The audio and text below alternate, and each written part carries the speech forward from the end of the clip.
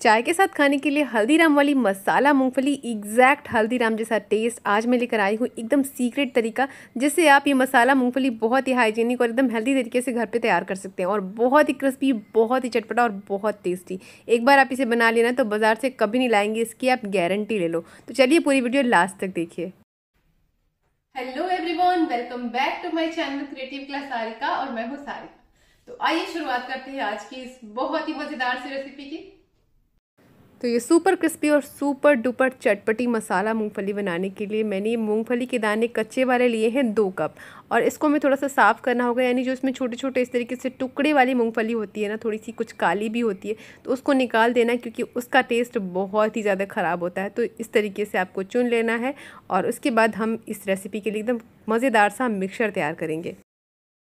ये वो सीक्रेट मसाला है जिससे कि हल्दीराम वाला टेस्ट आएगा। तो मिक्सी का जार लिया है। इस जार में मैंने थोड़ी देर पहले चाट मसाला बनाई थी तो मैंने सेम उसी जार का यूज़ किया है। एकदम ड्राई सूखा जार लेना है आपको और इसमें डालना है दो चम्मच उड़द की दाल।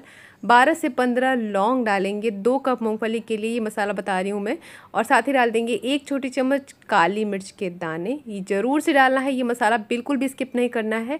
एक छोटी चम्मच डाल देंगे इसमें अजवाइन।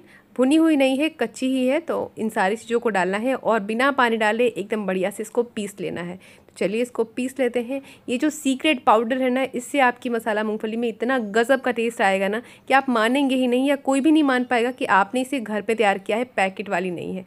पाउडर को मैंने अच्छी तरीके से पीस लिया है, अभी इसको रखते हैं साइड में और अब हम मूँगफली को तैयार कर लेते हैं। मूँगफली को साफ़ करने के बाद इसको एक अलग कटोरा या बर्तन ले लेना है। और इसमें हम ये सारी की सारी साफ़ की हुई मूँगफलियाँ डाल करके इसको पानी से एक बार गीला करना है बस। एक दो बार आप मूंगफली को धो भी सकते हैं। सिर्फ़ पानी से आपको गीला करना है, भिगो के या फिर फुला के नहीं रखना है। नहीं तो मूंगफली क्रिस्प नहीं होगी। इन खास बातों का ध्यान रखेंगे ना तो एकदम बढ़िया मूंगफली, मसाला मूंगफली बनेगी।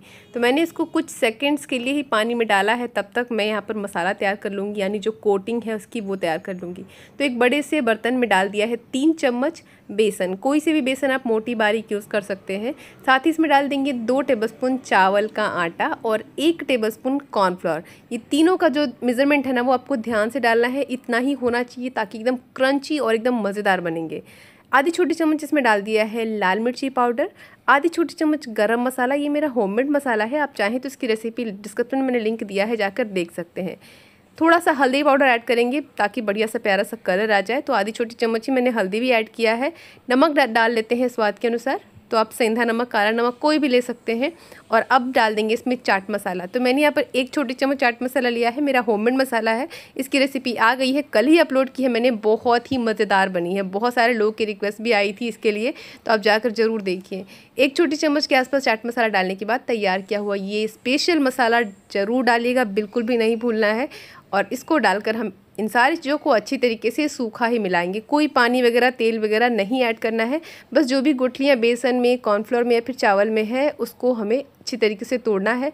पाउडर एकदम स्मूथ हो जाना चाहिए। तो देखिए, अच्छी तरीके से मैंने इनको स्मूथ कर लिया है। अब तैयार की हुई, यानी जो गीली गीली सी मूँगफलियाँ हैं ना, देखिए, फूली हुई नहीं होनी चाहिए। बस हल्की सी गीली चाहिए। और ये सारी की सारी गीली गीली मूँगफलियों को हम डाल देंगे इस पाउडर में। ताकि जो पाउडर है ना, वो मूंगफली की नमी से गीला हो गीला हो और उसके बाद इसके ऊपर अच्छी तरीके से चिपक जाए, एक मोटी सी लेयर इसके ऊपर आ जाए और मूंगफलियाँ बहुत ही क्रिस्प हो जाती हैं। तो देखिए, मैंने सारे के सारे डाल दिए हैं। थोड़ा सा यहाँ पर पानी लिया है और उससे हमें क्या करना है हल्का सा स्प्रिंकल करना है। पहले आप इसको अच्छी तरीके से चम्मच से या फिर हाथों से मिलाइए ताकि बढ़िया सी कोटिंग इसके ऊपर हो जाए। ये देखें तो काफ़ी हद तक कोटिंग हो गई है। अब हल्का सा पानी लेना है दो तीन चम्मच के आसपास और बस इसको इस तरीके से स्प्रिंकल कर देना है, छिड़क देना है ताकि जो भी बची हुई पाउडर है ना, वो अच्छी तरीके से मूंगफलियों के ऊपर लग जाए और एकदम बढ़िया क्रिस्पनेस आ जाएगी इसके अंदर। तो ये सारा का सारा पाउडर मैंने इसमें मिला दिया, हल्का सा टॉस कीजिए और अब इसको फटाफट से हम कुक करेंगे खाने के लिए। ये बहुत ही जल्दी तैयार होने वाली है, मुझे तो नहीं रहा जाता है इसको बनाने के बाद सब के सब टूट पड़ेंगे इसके ऊपर, इतनी टेस्टी बनती है। तो मैंने यहाँ पर हाई हीट पे तेल गरम किया है। तेल एकदम गरम होना चाहिए तो बहुत ही ध्यान से मतलब बिल्कुल केयरफुली आपको ये मूँगफली इसमें डालनी है। क्योंकि अगर आप ऊपर से डालेंगे ना तो ये तेल ऊपर की तरफ़ उछड़ेगा और हाथ जल सकता है। इसलिए एक साइड में डालिए धीरे धीरे से और फ्लेम को लो टू मीडियम कर दीजिए। अब आप जो ये झाग देख रहे हैं ना, ये कच्चे होने की निशानी, यानी मूंगफली पूरी तरीके से कच्ची है। जब तक ये पूरा का पूरा झाग सेटल नहीं हो जाता, कम नहीं हो जाता, तब तक आप समझिए कि मूंगफली पूरी तरीके से कच्ची है। बस इसको बीच बीच में इस तरीके से चलाते रहिए ताकि इवनली कुक हो जाए। और अब आप देख सकते हैं जो झाग है, वो काफ़ी हद तक कम होने लगा है। हल्का सा इनको आप जितना चाहें गोल्डन कर सकते हैं, वैसे ये पूरी तरीके से क्रिस्प हो चुके हैं। तो अब इनको हम किचन टावल पे निकाल लेंगे। आप देख सकते हैं इसका लुक कितना ज़्यादा अमेजिंग है, उसकी खुशबू भी बहुत ज़्यादा टेस्टी है। मेरे पास ये जो पाउडर बच गया है थोड़ा सा मूंगफलियों को फ्राई करने के बाद तो मैं इसमें लगभग चौथाई कप के आसपास मूँगफली फिर से गीला करके डालूँगी, ताकि जो चटपटा सा पाउडर है ना, वो कहीं ख़राब ना हो जाए। तो मैंने थोड़ी सी और पाउडर में मूँगफली डाल दी है, अच्छे से टॉस करके, फिर से इसको तेल में डाल करके अच्छे से फ्राई कर लेंगे और क्रिस्प कर लेंगे। तो यहाँ देखिए हमारी सारी की सारी मूंगफली बहुत ही मज़ेदार तरीके से क्रिस्प हुई है और बहुत ही ज़्यादा टेस्टी बनी है। चाय के टाइम में आप इसको एक बार बना के देखिए और सबको परोस के देखिएगा सब के सब खुश हो जाएँगे इतना ज़्यादा टेस्टी आपने घर पे तैयार किया है। हल्दी राम की तरह ही टेस्ट है इसका। और अब मेरी जो चाय के लिए सब लोगों की डिमांड थी कि मैं चाय कैसे बनाती हूँ तो मैं ये चाय बना रही हूँ, इसमें थोड़ी सी गुलाब की पंखुड़ियाँ, चीनी और चाय पत्ती पहले डाल दी है। ये जो हरी वाली आप देख रहे हैं ना, ये हरी चाय की पत्ती है जो मेरे गार्डन में उगती है। आप भी उसको घर पर आसानी से उगा सकते हैं और मार्केट में भी मिल जाती है। थोड़ी सी अदरक डाली है, अच्छी तरीके से इसको उबालना है। चाय का जो कलर है ना, वो एकदम डार्क हो जाना चाहिए। और जो भी झाग दिख रहा है ना, वो भी निकल जाना चाहिए। तब तक समझ जाइए कि चाय बहुत अच्छे से कुक हो गया है। तो चलिए, ये तो रही चाय की बात। चाय की भी पूरी रेसिपी और इसका मसाला मैंने डिस्क्रिप्शन में दिया है लिंक आप जाकर देख सकते हैं।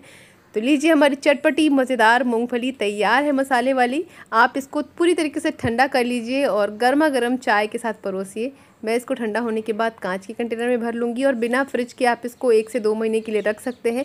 वैसे ही इतनी चटपटी है ना कि एक हफ़्ते में ही ख़त्म हो जाती है। बहुत ही मज़ेदार है। एक बार ट्राई करके देखना। आपको ये बहुत बहुत बहुत पसंद आएगी। स्पेशली अगर बच्चे देख लिए ना तो ख़त्म किए बिना मानेंगे नहीं। अब मैं आपको इन्हें तोड़ कर दिखाती हूँ कि जो मूँगफली है, वो कितनी ज़्यादा क्रिस्प बने हैं। ये देखें, बस हाथों से ही इसको दबाइए। ये देखें। एकदम टुकड़ा टुकड़ा हो गया है, बहुत ही कुरकुरा बना है, बहुत ही मज़ेदार बना है। तो अपने ढेर सारे फ्रेंड्स फैमिली को शेयर कीजिएगा और आप ये वीडियो कहाँ से देख रहे हैं, ज़रूर लिख के बताइए। और कल वाली आपने जो चाट मसाले की रेसिपी नहीं देखी है तो वो भी जाकर देख सकते हैं। मैं लिंक दे दूँगी डिस्क्रिप्शन में।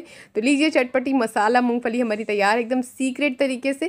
थोड़ा सा इसके ऊपर चाट मसाला या फिर लाल मिर्ची पाउडर डालिए अपने टेस्ट के अकॉर्डिंग और हल्का सा टॉस कीजिए और गर्मा गर्म चाय के साथ इसे परोसिए। सब के सब खुश हो जाएँगे। रेसिपी पसंद आई तो शेयर कीजिए लाइक कीजिए और अपने सुझाव कॉमेंट में दीजिए। चलिए कल फिर मुलाकात होगी आपसे एक और नई रेसिपी के साथ। तब तक के लिए टेक केयर एंड बाय